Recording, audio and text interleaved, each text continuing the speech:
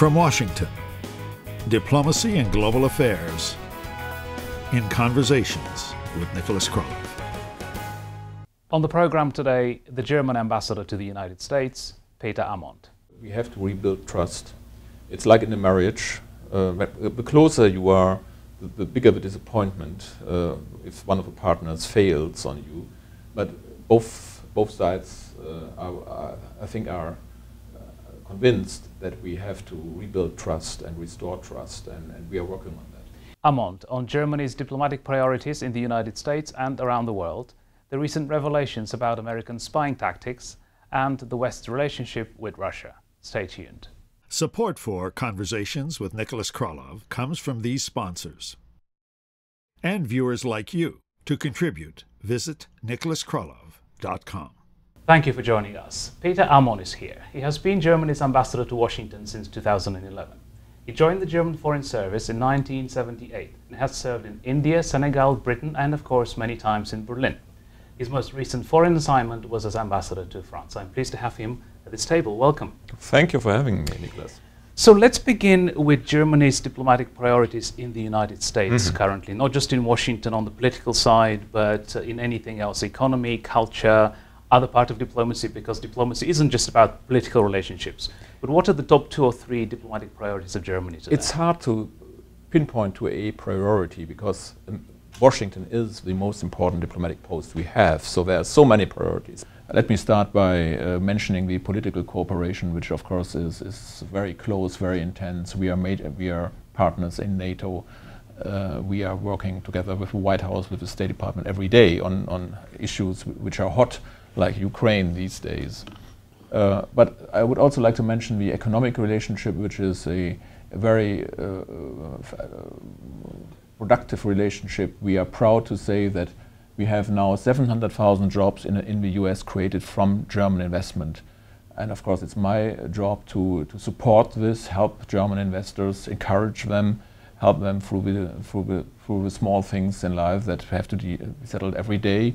And uh, I was gratified to learn the other, or hear another German CEO say the other day that 10 years ago he had to uh, present to his investors a China story, and now he has to present them with a US story. Why is that, do you think? You, you actually have a PhD in, in economics. Yeah, economics is, my, is, is, yeah. is, is, is, in the center of my attention, of my, uh, of my work.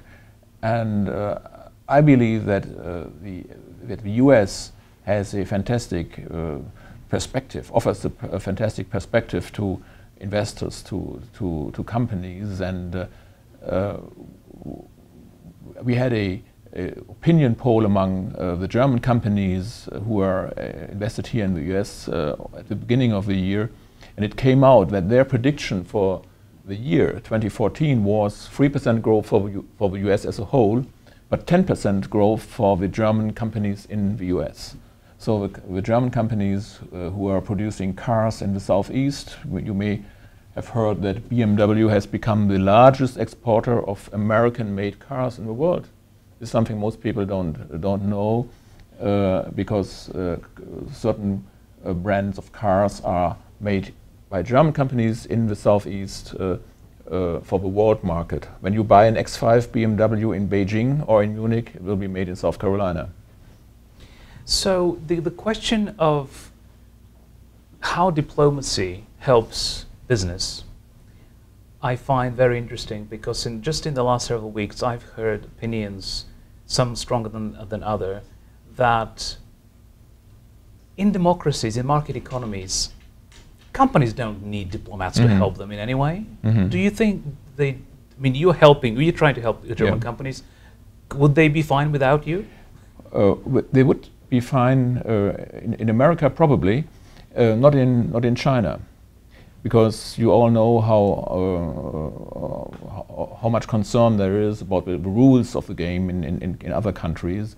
But still in America, I would say, there is a lot of regulation and uh, um, we, we, have to set standards which are uh, compatible to each other. Uh, that's why I'm a, a, strong supporter of the Transatlantic Trade and Investment Partnership. That's a free trade agreement and a free investment agreement which, are, which is negotiated right now. And it's not only that this agreement will bring hundreds of thousands of new jobs, both to the US and to Europe. But uh, it will help us to uh, uh, harmonize standards and make standards compatible. My example is always when the automobile was invented, you had to decide whether to drive on the left side of a road or on the right side of a road. And those of you who have been to, to, to, to England, to London, may have noticed you can drive on the left side of a road quite perfectly. But you have to decide on one standard. And, uh, and every day, new inventions are, are made, uh, new technologies emerge, and standards are set. And it's important that we produce standards that are compatible. Because you can drive on the left side of a road, you can drive on the right side of a road, but you cannot do both. You have to decide on one standard. Right. And th that's uh, why it's so important that we get these negotiations forward. And here I find that diplomacy has a strong role to play. How would you describe the changes in German diplomacy just in the last, let's look at the last 10 years, because mm. it's really not fair to, to, to compare the, the, Cold War or even the end of yeah. the Cold War to, to present time. So in the last 10 years, how has your German diplomacy changed?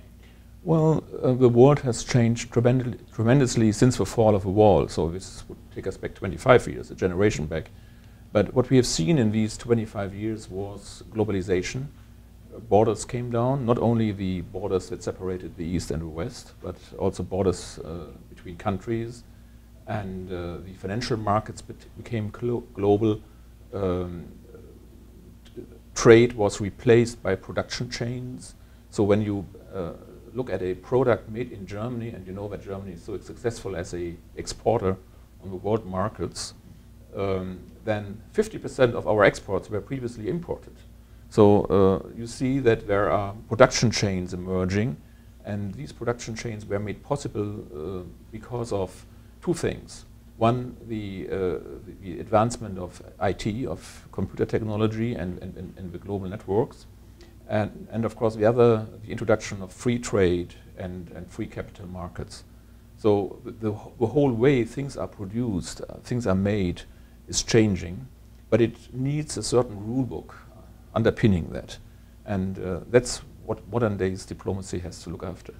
So how many embassies, consulates and other diplomatic missions does Germany have around the world today? Well, we have 153 embassies, we have uh, uh, 70 consulates on, on top of that. Uh, so altogether, it, it, we come to about uh, 230 representations around the world. And how many diplomats does Germany have? Um, the German Foreign Service has uh, or employs uh, 12,000 people. Half of them are local employees, and the other half are, are permanent uh, employee, employees who rotate around the world. Every three years, usually, we change our, uh, our workplace and move around the world. Uh, so we are modern days gypsies. Um, and uh, I think it's something that most foreign services in the world do, and we are part of that. So what would be the number of, of German diplomats, not the local employees, but German yeah. diplomats? Uh, 2,000 or more than 2,000? Yeah, of, of the 6,000 employees who were part of this rotating system, right. we would roughly have about 2,000 uh, who have diplomatic status. Okay, so that would compare to about 8,000 US diplomats Probably. around the world, um, which uh, we can look at Germany, France, Britain, and, and the US is probably the countries with most mm -hmm. diplomats. What about the global mission of German diplomacy? You, so far, you've talked a lot about economics and business, or the uh, British ambassador, another Peter, who was here uh, recently, talked about the, called it the prosperity agenda. Mm -hmm. So globally, then would that apply also to German diplomacy, or are there other issues that? I think that's a nice way to put it. Um, prosperity is a prerequisite for long-lasting peace, and uh, we in, in, in, Germany certainly have the uh, preservation of peace uh, and human rights as the overall headline for our for, for our work. Um, we uh, we know that this is a very complex situation uh, there are almost 200 countries in the world. The numbers of countries are is increasing by the by the way over over the last years, and and uh, countries split up. Uh, the situation becomes uh, more and more controversial in many parts of the world. When you look around the world, sometimes I think that the world is on fire. Uh, 20 years ago, we had hoped that this was the end of history, the end of the history of wars. But on the, on the opposite, now we see that more and more countries become unstable, uh, become violators of human rights, uh, become bad investment locations through this, by the way. And uh, uh growth in the, in, in the world is, uh, is, is, is, is, very limited to very few places only. So um, there is a uh, there's an enormous, I think, a growing challenge on all of us to, uh, to, to, make sure that peace, a long-lasting peace, is achieved through creating a just world, a uh, prosperous world, and a world in which human rights are respected. So would you say that in the German Foreign Service, if you are an economic officer or you specialize in economics, mm -hmm. then that's all you will do in your career? No, we, we make sure that we don't over specialize. Okay. So uh, I was a, a, cultural attaché in Africa mm. and I was a, a, press spokesman in New Delhi. So, I, so you should be an expert, but you should also know a little yeah. or enough about other areas so you can work. I think the worst that can happen to you is narrow-mindedness. Yeah, you must be open to, to, to, other countries and to other fields of, of, of, of your trade.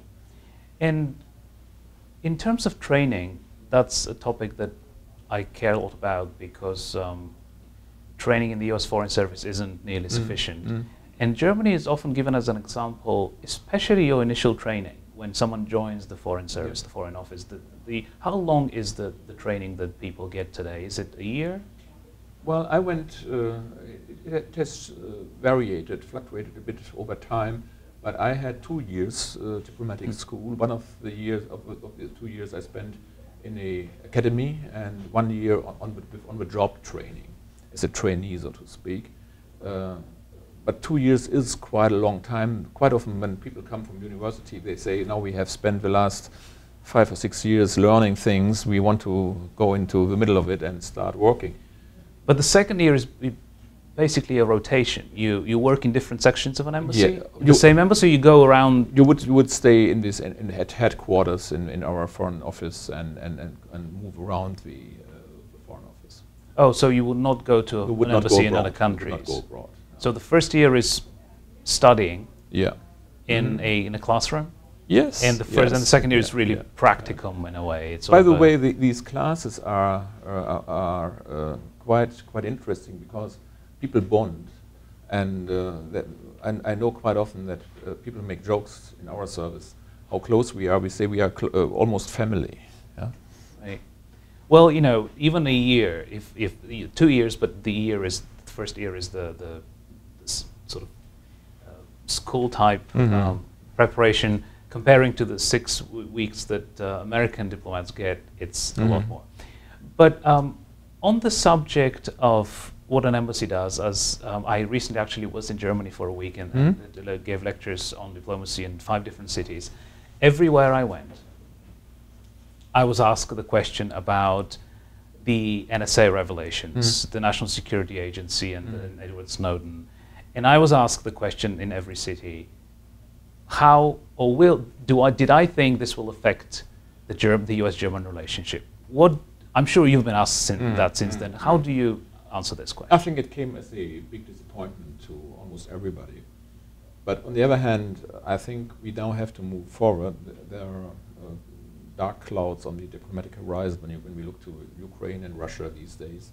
So we have to move on. There are more important things to, to well, worry yes, about. I, I, think we, we both, both sides have, uh, have learned that uh, we have to rebuild trust. It's like in a marriage. Uh, the closer you are the, bigger the disappointment uh, if one of the partners fails on you. But both, both sides, uh, are, are, I think, are uh, convinced that we have to rebuild trust and restore trust, and, and we are working on that. You know, what I said at the time was that, I, you know, short term, there will be consequences or repercussions because you know it's in the news, it's out there. Mm. But I didn't think in the long term, because of all these issues that you talked about, whether Ukraine or China uh, or any instability in any part of the world is probably more important than a little rub over I Is think what we, correct? What, what, I think what we what, what we need to do and what we are doing is uh, uh, to converse about it. We have to discuss it. Uh, we don't have to do this in public. We do this uh, behind closed doors, but we do that. And uh, to, to remain at the example I've given to you, Uh, we can't afford marriage, uh, the marriage to fail. Uh, this is too important. right. The relationship, right. the transatlantic relationship, is extremely dear to us. It's extremely important and I would say to both sides. Yeah?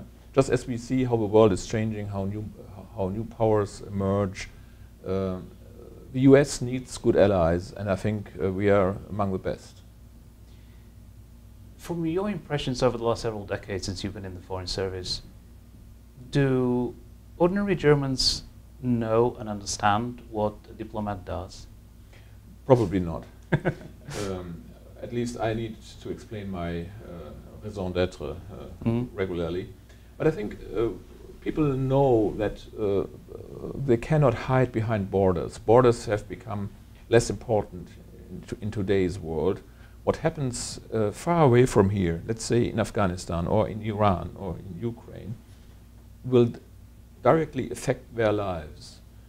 So people know that there must be someone who's handling that. Uh, who, who you cannot say, or like America had, a, had periods of uh, isolationism when you said that we have two oceans protecting us from all the evil uh, in the rest of the world. This is no longer true.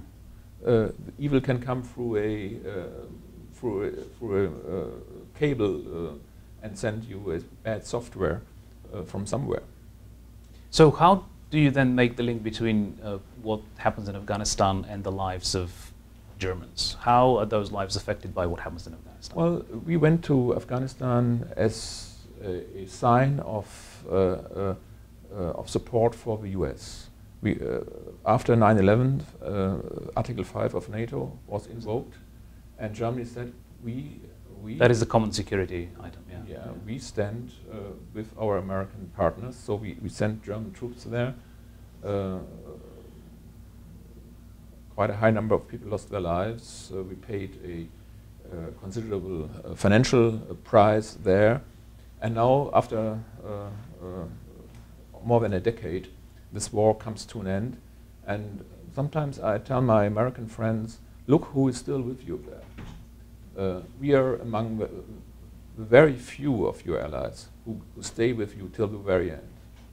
That's the German way. We don't go out easily You can rely on us. Right. You mentioned Ukraine.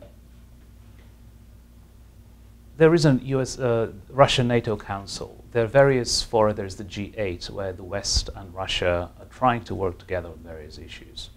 From a German perspective, where do you see the relationship between the West and Russia in five or ten years? I would say where would you like it to be? What, what, what's happening right now is very serious. I think we are uh, we find that uh, Russia is breaking international law. We cannot accept that. So, so we have been very clear on that. Um, could be that this is a turning point. I hope not. Um, since the fall of the Berlin Wall 25 years ago and the collapse of the Soviet Union afterwards, we had hoped that we could build a relationship with Russia which would mean integration in the global system. They would be a partner like everybody else. They would be wealthy through economic success. We wanted to help them, give them technology, access to markets. And uh, they would be a partner like everybody else. That was the, the, the hope. I hope that this, uh, this idea is not buried uh, today in, in Crimea. Well, do you think to get to that place you're talking about, where Russia would be a responsible partner in whether political, economic, other issues, that perhaps this will only happen with change of generations in terms of the leadership of that country?